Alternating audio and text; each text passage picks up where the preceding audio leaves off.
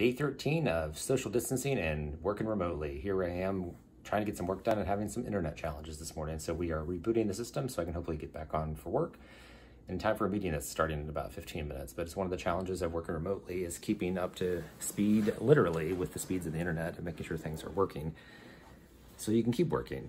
I have interviews to do this afternoon. I'm on camera and different things like that. And it'd be nice if the internet kept up, but I'm not sure if it was our internet, the Zoom meeting, something else, who knows.